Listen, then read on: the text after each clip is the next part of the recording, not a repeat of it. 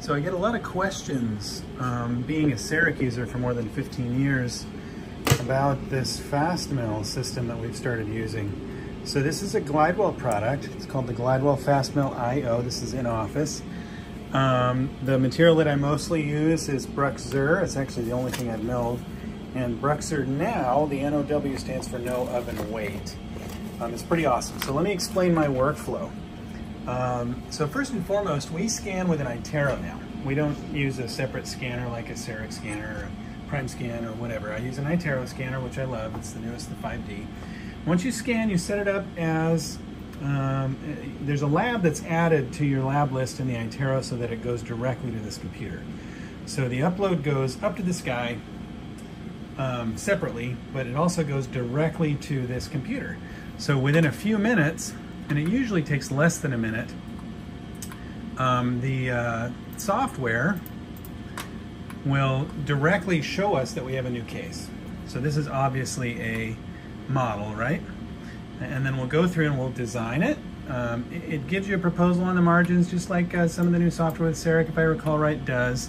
You can move everything around. I mean, we can click and drag the margin. It also gives you a little height, you know, uh, indication. We have a whole bunch of different options, you know, depending on what you want to do. Um, of course, this is a monochromatic model because it was based on a printed printed model. Anyway, so once it's designed, uh, which is very, very simple, um, here it's going to give us a design. Really, there, there's only one step that I need to do. It's going to give me a warning because it doesn't like where the margin is. Again, this is a, a model. There's really one step that I need to do. There are some parameters that are set up early in the software, you know, up here under tools that I can adjust. Um, but what we're going to do is check the contact. So I'm going to edit the mesial spot. You can see this is the contact that initially proposed. So I'm just going to change the size of that and location if I wanted to. Hit the check mark. And then I'm going to go to edit distal spot. Same thing. And you know, you can manipulate this around so you can determine where you want it. Hit the check mark. And then I'm going to hit fix contacts. And it's going to go through its algorithm and calculate. Um, and so here's what it's proposing for me. 20 microns of positive pressure and you can actually see where those contact points are. There's 20 microns there. And then my occlusal offset that we're used to with CEREC occlusal offset, I have it designed at negative 500 microns, so half a millimeter short, but I can change that if I wanted to. I could go up here and change all these design settings for all the materials, just like you can with CEREC. Anyway, once that's done, we take this guy, we send it to milling. It's gonna warn that there's an undercut, and just like with CEREC, um, sometimes the undercuts are a big deal, sometimes they're not at all. Um, it goes straight to the milling machine, right? So the milling machine is obviously right here. Um, it, this milling machine is very, very simple. It uh, has one burr here, and then the block is inserted there. So there's one confirming choice here. We're gonna confirm that guy.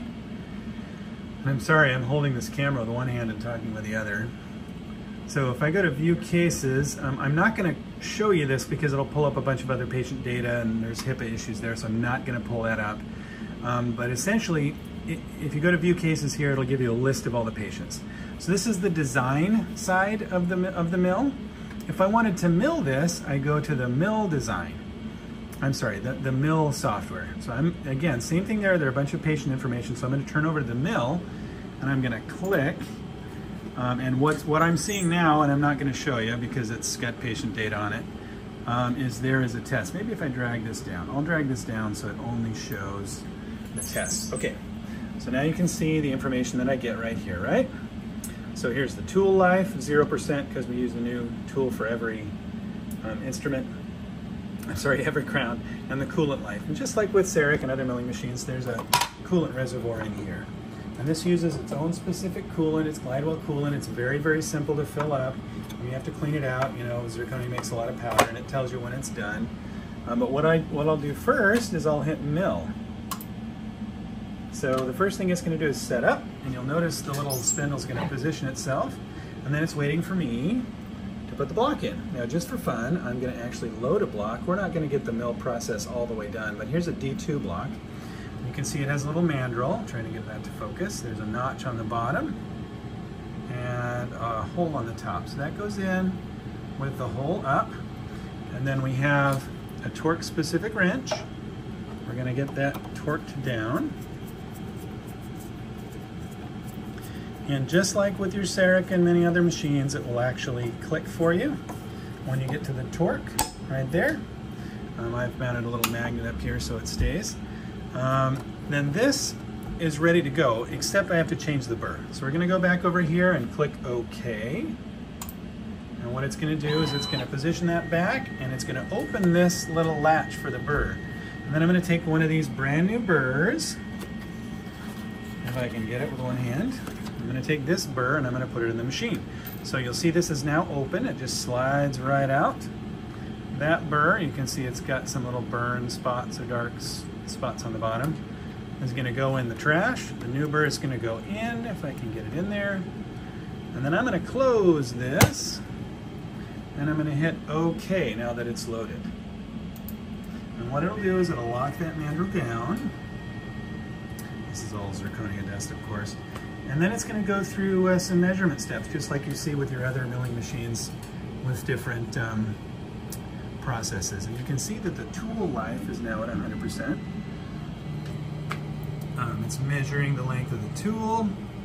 It's going to go through a water cycle and confirm that we have enough coolant flow.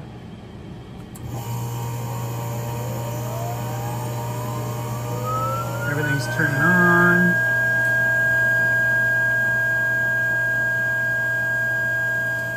Exciting. It's going to go through and measure just like many other machines do. There's your water flow. Now, you really can't see much of the milling at all because of all the water. There's so much water because as you know, zirconia gets really hot. So here it's going to mill for us. I'm going to stop it here so we can save that block in just a second. But here's the calculation it gives us. So there's test. There's the, the one we're milling. You can see the shade. I did not change the shade. That's a D2, obviously. Tooth number three, it's a full crown. Percent complete, it's at zero because it hasn't milled enough. There's too much vari variability there, so it hasn't um, given me a calculation. But it's actually going to go through and start moving. I might let it mill just for fun so I can have a sample. I'll probably stop it almost all the way. But this is, uh, this is what it does. Starts to go, I'll give you uh, some, some of my thoughts. There it's measuring, it's confirming the hardness of the material and the length of burr. And now it's really going to start. Look at all that water flow. So a couple of thoughts. You know, I've, I've gotten some pushback from docs that I used to work with um, that are diehard CEREC users. And I'm not downplaying CEREC in any way, shape, or form. Personally, I really like the CEREC system. Um, I like it a lot. And I used it for many, many, many, many years.